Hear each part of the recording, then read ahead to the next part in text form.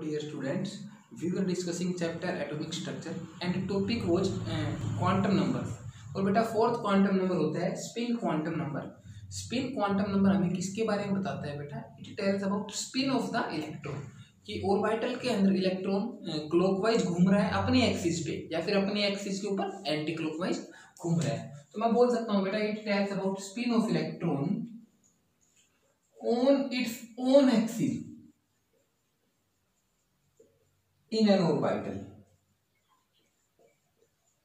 बेटा सपोज़ कर लेते हैं कि इलेक्ट्रॉन अगर क्लॉकवाइज डायरेक्शन में घूम रहा है तो बेटा उसके लिए स्पिन क्वांटम नंबर जिसको स्मॉल एस से रिप्रेजेंट करते हैं, उसकी वैल्यू प्लस हाफ़ है। तो बेटा, अगर इलेक्ट्रॉन एंटी क्लॉकवाइज घूमेगा तो उसके लिए स्पिन क्या हो जाएगी बेटा? माइनस हाफ़ अब ये कोई फिक्स बात नहीं है बेटा कि क्लॉकवाइज के लिए हम प्लस हाफ़ बोल लेंगे और एंटी क्लॉकवाइज के लिए माइनस हाफ़ अगर मैंने क्लॉकवाइज वाले के लिए माइनस हाफ़ बोल दिया तो अपने आप से एंटी क्लॉकवाइज के लिए क्या हो जाएगा बेटा? प्लस हाफ़ क्योंकि बेटा ये जो डायरेक्शन होती है क्लॉकवाइज या फिर एंटी क्लॉकवाइज ये ऑब्जर्वर की रिस्पेक्ट में होती है। आप लोग देखना, अगर हम सामने से किसी चीज़ को क्लॉकवाइज देखें और घूमकर उसके पीछे की साइड चले जाएँ तो हमें वो चीज़ एंटी क्लॉकवाइज लगती है। मान लेता हूँ जैसे इस तरीके से अगर मैं मार्कर को रोटेट कर रहा हूँ और बोल रहा हूँ कि ये क्लॉकवाइज है। यहाँ से देखने पर ये क्लॉकवाइज है। अगर मैं घूमकर उल्टा चला जाऊँ, इसको ऐसे ही घुमाता रहूँ, और अगर मैं यहाँ से इसको देखूँगा तो ये क्या हो जाएगा बेटा? एंटी क्लॉकवाइज तो क्लॉकवाइज या एंटी क्लॉकवाइज ये ऑब्जर्वर पर डिपेंड करता है। तो बेटा, इस अगर एक के लिए एस की वैल्यू माइनस हाफ़ है तो दूसरे के लिए अपने आप क्या हो जाएगी? प्लस हाफ़ ये था fourth quantum number okay dear students next topic is aufbau principle बेटा आप बाउ ने क्या बताया था कि जब भी हम ऑर्बिटल्स में इलेक्ट्रॉन्स भरेंगे तो सबसे कम एनर्जी वाले ऑर्बिटल को पहले, उससे ज़्यादा एनर्जी वाले ऑर्बिटल को उसके बाद, और इस तरीके से बढ़ती हुई एनर्जी में हम उनको फिल करेंगे। पहले कौन सा ऑर्बिटल भरा जाएगा जिसकी एनर्जी सबसे कम है? तो मैं बोल सकता हूँ बेटा कि electrons are filled filled in orbitals in increasing order of their energy increasing order order of their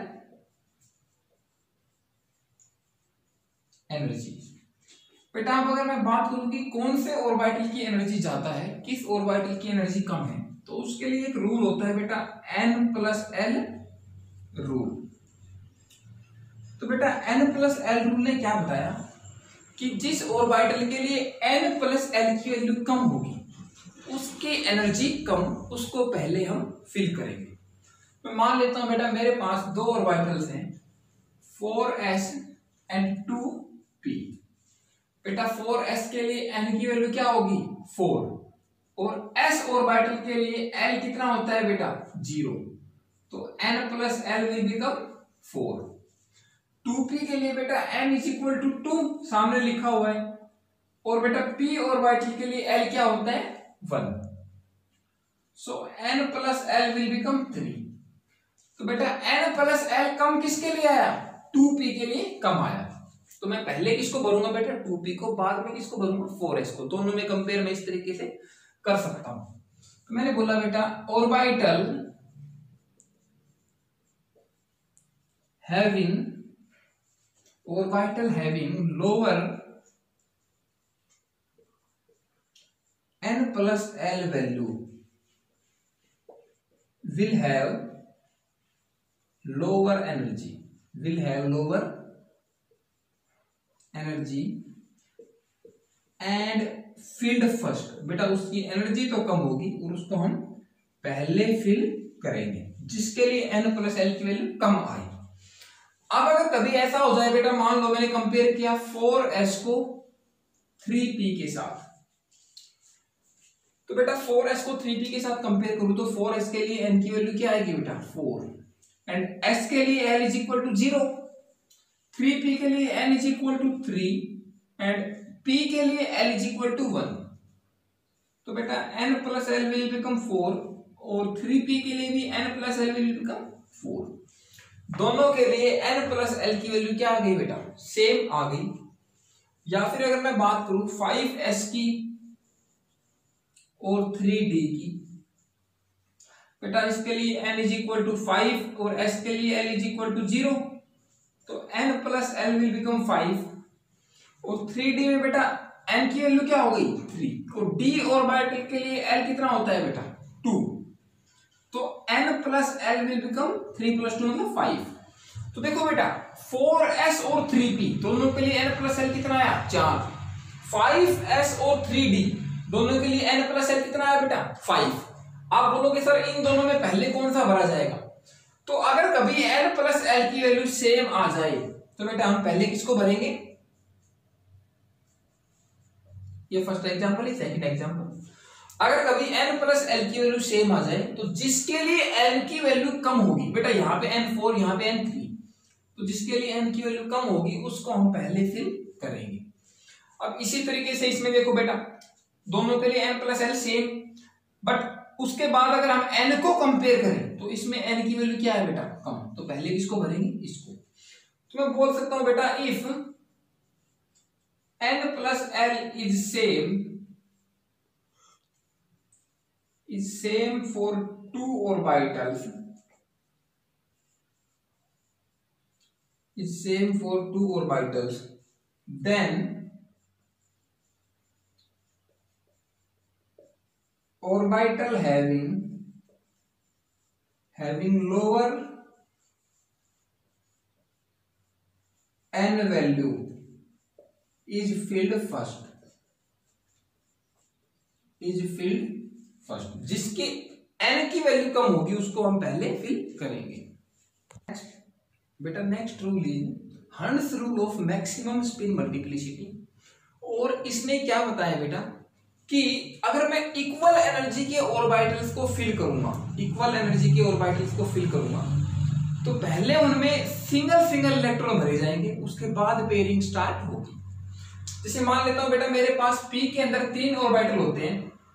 P के लिए बेटा एल की वैल्यू वन और नंबर ऑफ़ ऑर्बिटल्स का formula twelve plus one is equal to two into one plus one कितने orbital आएँगे बेटा? Three और डी की अगर मैं बात करूँ तो बेटा एल की वैल्यू क्या होती है? डी के लिए two number of orbitals will be two L plus one it will be equal to two into two plus one that will become five तो बेटा पी ऑर्बिटल्स में कितने पी सबसेल में कितने ऑर्बिटल आए? तीन। और उनके बारे में हम लोग पहले भी पढ़ चुके हैं। तीन ऑर्बिटल्स की शेप क्या होगी बेटा? एक पी एक्स एक पी वाई एक पी जेड ये हमने पहले डिस्कस किया था। अब देखो बेटा, इसके अंदर मुझे अगर तीन इलेक्ट्रॉन भरने हैं पी ऑर्बिटल्स में पी थ्री कन्फिग्रेशन अगर मैं लिखना चाहूँ तो और तीनों ऑर्बिटल्स की एनर्जी सेम है because they belong to same subshell P subshell अब देखो बेटा, तीन इलेक्ट्रॉन्स को भरने का एक तरीका ये है मेरे पास। और एक, दो, तीन। ये भी है। तो मैं बोल रहा हूँ बेटा कि इक्वल एनर्जी के ऑर्बिटल्स को अगर भरूँगा तो पहले उनमें सिंगल सिंगल इलेक्ट्रॉन आएँगे, उसके बाद पेयरिंग स्टार्ट होगी। अगर मुझे पी फोर लिखना है बेटा तो जो फोर्थ इलेक्ट्रॉन है, वो यहाँ आएगा बेटा। लेकिन जब तक सबके अंदर एक एक इलेक्ट्रॉन ना आ जाए, तब तक हम उनको सिंगल सिंगल ही फिल करेंगे। मतलब पी थ्री कन्फिग्रेशन सही है ये, और ऊपर वाली क्या है बेटा? गलत। अगर मुझे, जैसे मान लेता हूँ डी फाइव फिल करना है बेटा, या फिर डी सेवन फिल करना है। तो बेटा डी के अंदर कितने ऑर्बिटल होते हैं? पाँच ऑर्बिटल हमने उनके बारे में पढ़ा है, उनके नाम भी पढ़े हैं और उनकी सेप भी। तो ऑप्शंस है मेरे पास।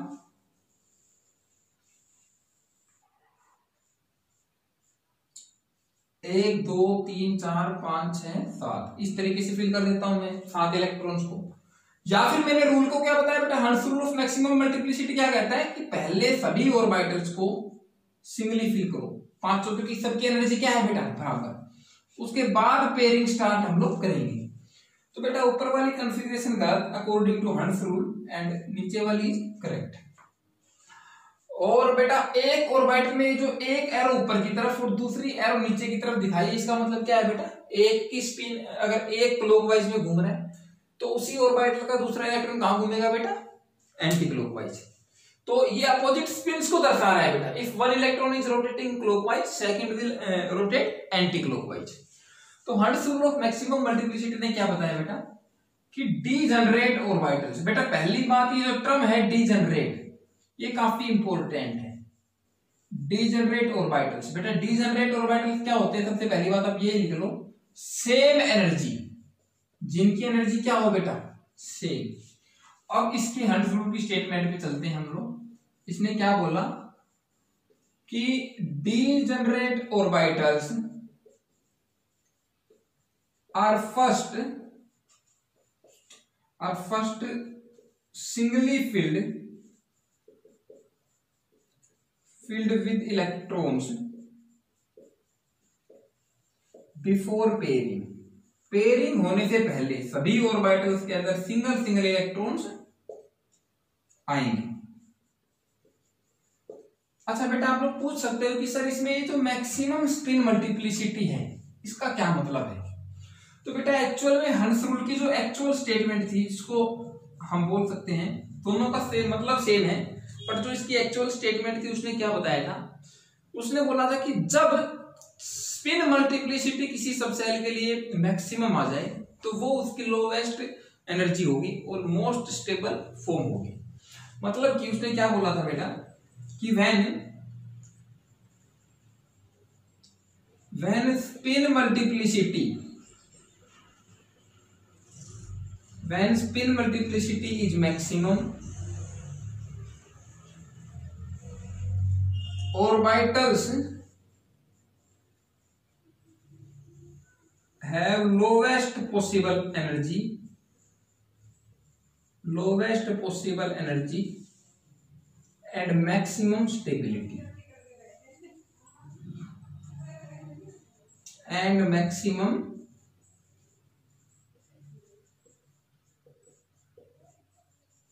stability मतलब कि जब स्पिन मल्टीप्लिसिटी मैक्सिमम हो जाए, उस टाइम पर एनर्जी सबसे कम होगी या फिर स्टेबिलिटी सबसे ज़्यादा?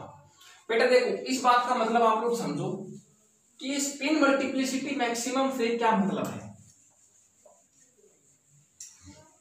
देखो बेटा, मान लेता हूँ मेरे पास एक बार इलेक्ट्रॉनिक कॉन्फ़िगरेशन P3 मैंने इलेक्ट्रॉन्स को फिल कर दिया इस तरीके से। वन टू थ्री बेटा देखो, पहले इलेक्ट्रॉन के लिए अगर स्पिन प्लस हाफ़ है तो उसी ऑर्बिटल में दूसरे इलेक्ट्रॉन की स्पिन क्या होगी बेटा? माइनस हाफ़ क्योंकि एक को ऊपर की तरफ़ दिखा रखा है, एक को नीचे मतलब कि एक अगर क्लॉकवाइज घूम रहा है, दूसरा इलेक्ट्रॉन कैसे घूमेगा बेटा?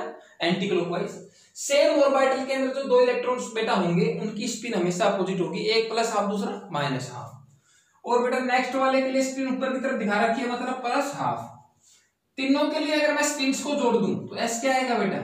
Plus half minus half and plus half it will be equal to plus half और बेटा स्पिन मल्टीप्लिसिटी का फॉर्मूला होता है two S plus one it will be equal to two into one by two plus one that will be equal to two अगर मैं P three configuration को दिखाऊँ इस तरीके से,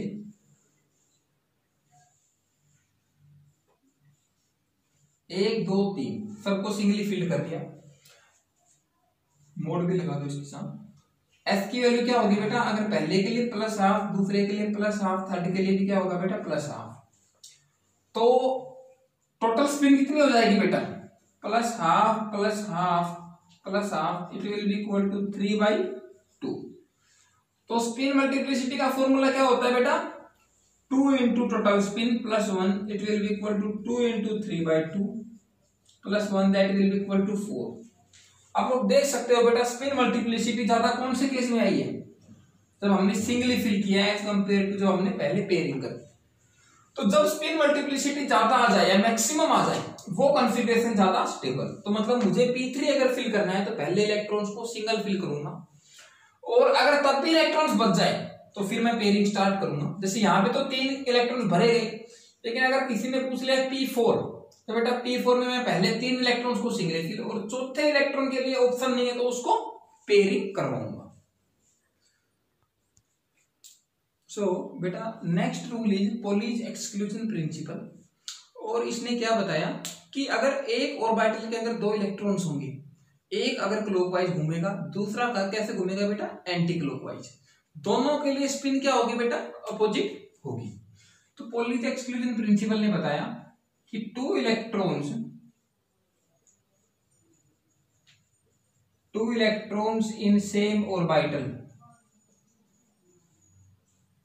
have equal and opposite. बेटा मैग्नीट्यूड तो दोनों का सेम होगा, और साइन कैसा होगा बेटा? Opposite have equal and opposite spin. मतलब अगर एक ऑर्बिटल में दो इलेक्ट्रॉन है, एक अगर क्लॉकवाइज घूमेगा तो दूसरा अपने आप कैसे घूमेगा बेटा? एंटी क्लॉकवाइज अपनी खुद की एक्सिस कर ऊपर ही। एक क्लॉकवाइज वाले के लिए अगर मैंने स्पिन को बोला प्लस हाफ़ तो एंटी क्लॉकवाइज वाले के लिए स्पिन क्या होगी बेटा? माइनस हाफ़ अब क्लॉकवाइज वाले के लिए अगर प्लस हाफ़ है तो एंटी क्लॉकवाइज वाले के लिए माइनस हाफ़ ऐसा भी हो सकता है कि मैं क्लोकवाइज वाले के लिए माइनस हाफ़ बोल दूँ और एंटी क्लोकवाइज वाले के लिए प्लस हाफ़ बोल दूँ। पर अगर सेम ऑर्बिटल में है तो दोनों के लिए स्पिन क्या होगी बेटा? ऑपोजिट होगी। तो ये था पोलीज एक्सक्लूजन प्रिंसिपल बेटा पोलीज एक्सक्लूजन प्रिंसिपल की एक और स्टेटमेंट है।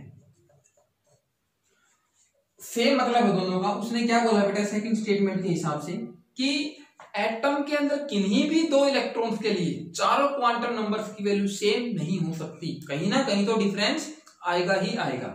मतलब कि उसने बोला for two electrons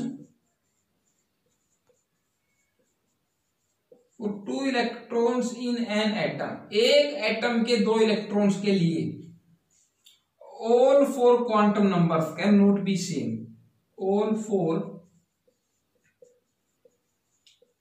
quantum numbers cannot be same मतलब मान लेता हूँ कि मेरे पास दो इलेक्ट्रॉन्स हैं, जिनके लिए बेटा सेल सेम है। सेल सेम का मतलब क्या है बेटा? उनकी एन की वैल्यू सेम बोलो उनका सब सेल भी सेम है बेटा। तो सब सेल सेम मतलब उनकी किसकी वैल्यू में सेम होगी बेटा एल इज़ सेम और हमने बोला कि दोनों एक ही ऑर्बिटल के अंदर है। अगर उनका ऑर्बिटल सेम है मतलब उनकी किसकी वैल्यू सेम है बेटा? एम एल लेकिन बेटा, अगर एक ही ऑर्बिटल में दोनों इलेक्ट्रॉन्स हैं तो उनके लिए अगर एक के लिए स्पिन प्लस हाफ़ होगी तो दूसरे के लिए स्पिन क्या होगी बेटा? माइनस हाफ़ ये फिक्स है। तो मतलब कहीं ना कहीं जाके डिफरेंस आ ही जाएगा। किन्हीं भी तो इलेक्ट्रॉन्स के लिए चारों क्वांटम नंबर सेम कभी नहीं होंगे। या तो उनके सेल में डिफरेंस होगा अगर सेल डिफरेंट नहीं होंगे तो सब सेल में डिफरेंस होगा। सब सेल में डिफरेंस नहीं होगा तो ऑर्बिटल अलग अलग होंगे। और अगर ऑर्बिटल भी सेम है तो उनका स्पिन में अपोजिट होंगे ही होंगे। एक की स्पिन अगर प्लस हाफ़ दूसरे की minus half okay dear students next topic is electronic configuration किस तरीके से ऑर्बिटल्स के अंदर इलेक्ट्रॉन्स फिल किए जाएँगे? बेटा देखो, ये जो मैंने डायग्राम बनाया है किस बेसिस पे बनाया है बेटा? ये सारे ऑर्बिटल्स है, देखो। सबसे पहले वन, पहले सेल के अंदर कौन कौन से ऑर्बिटल होंगे बेटा? सिर्फ़ एस होगा। आपको पता है बेटा, जब एन की वैल्यू वन होगी तो उस टाइम एल की वैल्यू क्या हो सकती है बेटा? ज़ीरो ज़ीरो मतलब वन एस तो यहाँ पे एल की वैल्यू क्या है बेटा? ज़ीरो एस के लिए। और जब मैं सेकंड सेल की बात करूँगा तो बेटा सेकंड सेल में देखो n is equal to two second shell के लिए एन की वैल्यू क्या होती है? टू तो एल क्या क्या हो सकता है बेटा? ज़ीरो और वन टू से एक कम तक एन माइनस वन तक जाती है हमारी वैल्यू हमने लास्ट वीडियो में देखा था। तो बेटा एल की वैल्यू ज़ीरो मतलब एस और एल की वैल्यू वन मतलब पी तो बेटा सेकंड सेल में एस भी होगा और पी भी होगा। लेकिन अगर टू होता तो क्या होता बेटा डी लेकिन if n is equal to two तो एल की वैल्यू टू नहीं हो सकती है। अब next n is equal to अगर मैं बात करूँ थ्री तो उसमें एल की वैल्यू क्या क्या होंगी बेटा? Zero one and two three से एक पहले तक।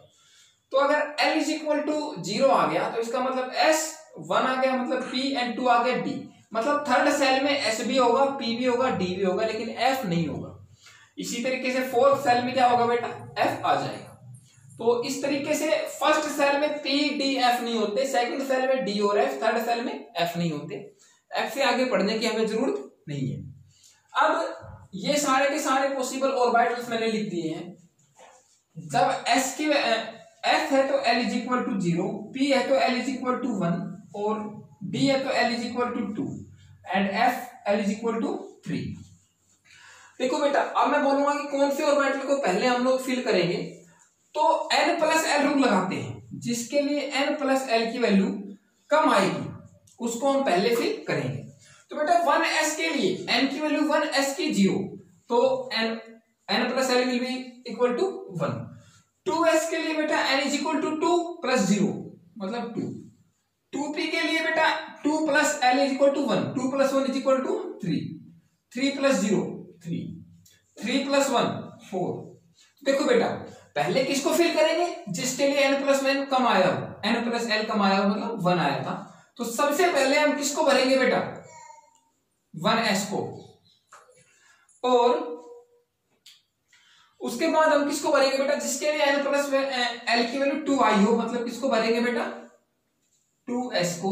इसको आप एक ट्रिक की तरह याद कर लो इनको इस तरीके से लिखो, और फिर उसके बाद थ्री वाले को भरना है। देखो बेटा एन प्लस एल की वैल्यू यहाँ पे भी थ्री आई है, और यहाँ पर भी क्या आई है बेटा? थ्री लेकिन जब दोनों के लिए सेम आ जाए, हम पहले किसको भरते हैं? जिसके लिए एन की वैल्यू कम थी। यहाँ पे एन टू है, यहाँ पे एन क्या है बेटा? थ्री तो पहले कौन सा भरा जाएगा दोनों में से? ये वाला। तो इस तरीके से हमने देखा कि ये मैं आगे भी कंटिन्यू कर सकता हूँ।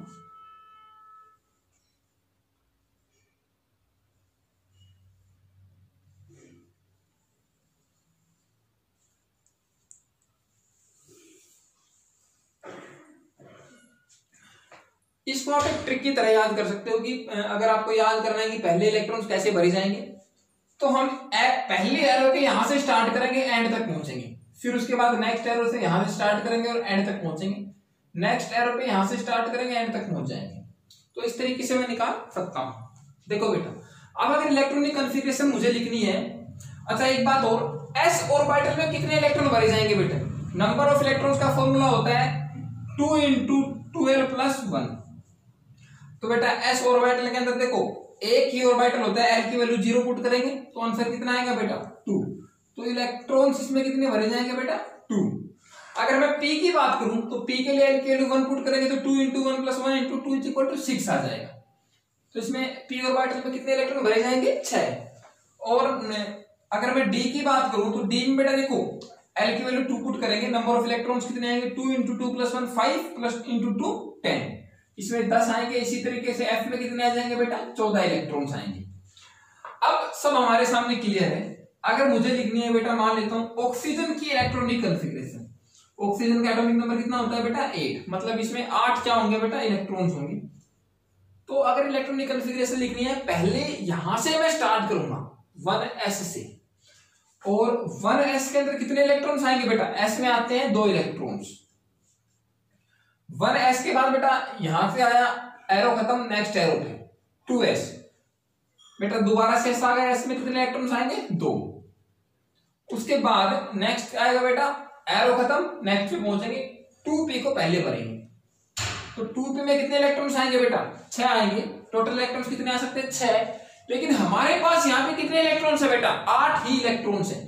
दो भरे गए वन एस में, दो टू एस में। तो इसमें कितने आएँगे बेटा टू पी में? चार इलेक्ट्रॉन्स ही आएँगे। अगर मैं बात करूँ नियोन की नियोन का एटॉमिक नंबर कितना होता है बेटा? टेन तो देखो बेटा, जब नियोन को भरेंगे पहले वन एस में दो, फिर दो एस में दो, और इसमें चार इलेक्ट्रॉन आ गए, छह बच गए बेटा। और टू पे में कितने आ जाएँगे बेटा? छह। तो इस तरीके से नियोन की कन्फिग्रेशन भी क्या होगी बेटा? आ गई हमारे पास। देखो बेटा, अब एक टर्म होती है नोबल गैसेज नोबल गैसेज क्या होती है बेटा? कि जब उनकी इलेक्ट्रॉनिक कन्फिग्रेशन लिखेंगे, और उनका लास्ट सेल पी ऑर्बिटल आ जाए, और वो कंप्लीटली फिल आ जाए बेटा तो हम क्या बोलेंगे कि ये क्या है? नोबल गैस है। मतलब मैं बोल सकता हूँ बेटा नोबल गैसेज में क्या होता है? Elements having last sub shell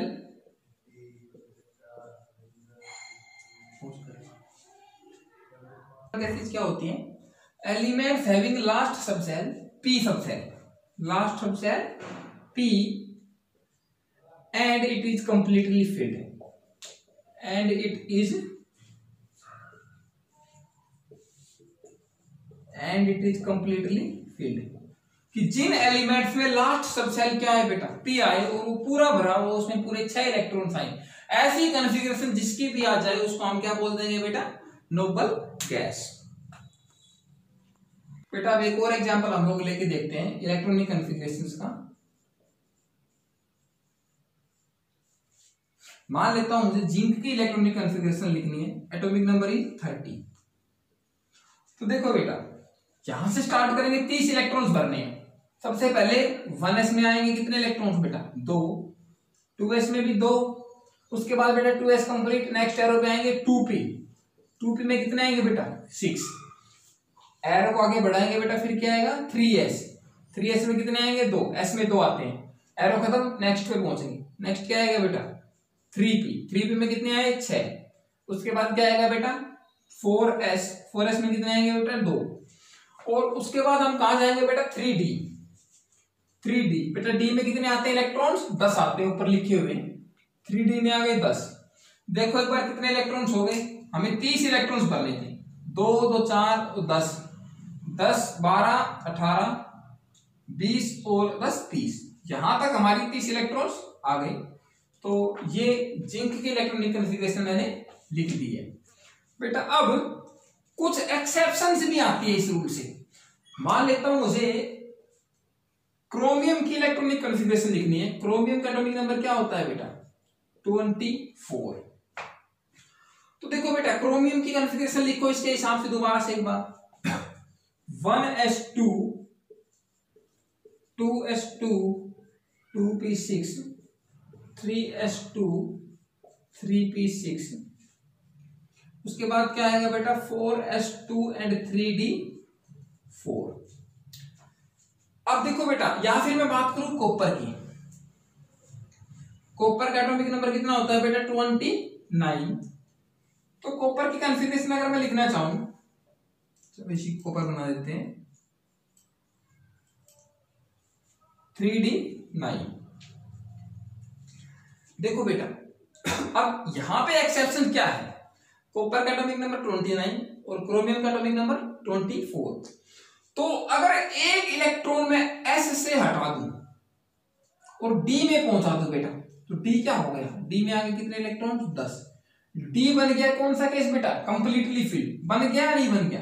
D के अंदर जब दस इलेक्ट्रॉन आ जाए तो वो क्या हो जाता है बेटा? कंप्लीटली फिल्ड तो ये कन्फिग्रेशन क्या है बेटा?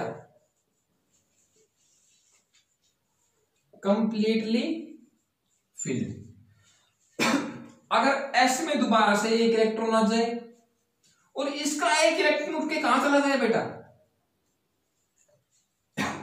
थ्री डी फाइव में.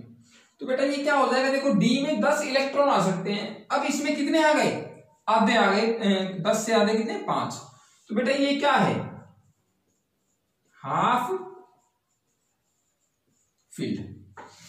तो जब भी एस से डी में इलेक्ट्रॉन में ट्रांसफ़र करूँ, किस तरीके से कि डी या तो कंप्लीटली फ़ील्ड बन जाए या फिर क्या बन जाए बेटा? हाफ़ फ़ील्ड बन जाए। तो ये स्टेबल कॉन्फ़िगरेशन बनेगी बेटा। दोबारा बताता हूँ। जब भी मैं एस से डी में इलेक्ट्रॉन ट्रांसफ़र करूँ, इस तरीके से कि डी या तो कंप्लीटली फ़ील्ड बन जाए या क्या बन जाए बेटा? हाफ़ फ़ील्ड तो कॉन्फ़िगरेशन ज़्यादा स्टेबल बनेगी। मतलब मैं बोल सकता हूँ बेटा कि जब इलेक्ट्रॉनिक कॉन्फ़िगरेशन या तो कंप्लीटली फ़ील्ड हो,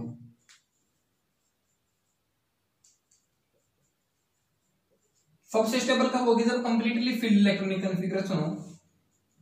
या फिर हाफ़ फ़ील्ड इलेक्ट्रॉनिक कॉन्फ़िगरेशन हो, और सबसे कम इनको छोड़ के बाकी सभी कॉन्फ़िगरेशन तो ये तो पहली बात होगी और दूसरी बात बेटा, मैं बोल सकता हूँ कि एस से डी में इलेक्ट्रॉन कब चला जाएगा? ये केस सिर्फ़ एस और डी का ही हमें लगाना है।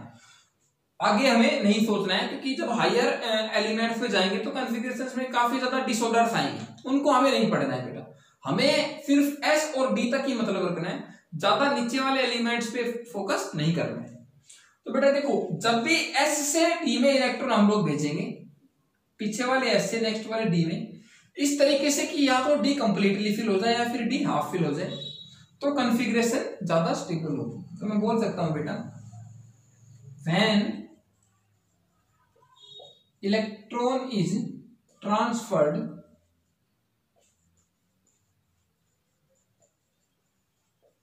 from S to D then and S becomes sorry and D becomes D becomes completely filled or half filled it is more stable ये कॉन्फ़िगरेशन क्या हो जाएगी बेटा ज़्यादा स्टेबल तो इसको four s two three d nine लिखने की बजाय हम लोग क्या लिखेंगे बेटा इसको? Three d ten and four s one. ये सही कॉन्फ़िगरेशन है। ये हाफ़ फ़ील्ड और फुली फ़ील्ड वाले के अंदर कंप्लीटली फ़ील्ड वाले के अंदर एक्सेप्शन होती है।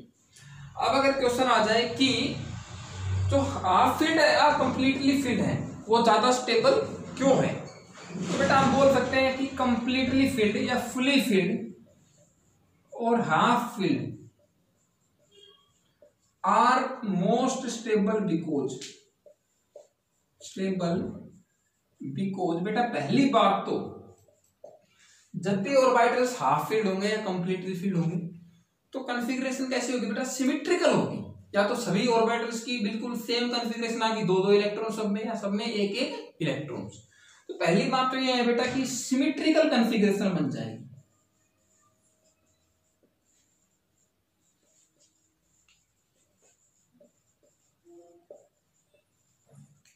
बेटा सेकेंड टर्म इज़ एक टर्म होती है एक्सचेंज एनर्जी बेटा एक्सचेंज एनर्जी हाफ़ फ़ील्ड और फुली फ़ील्ड वाले केस में क्या होती है? मैक्सिमम होती है बेटा।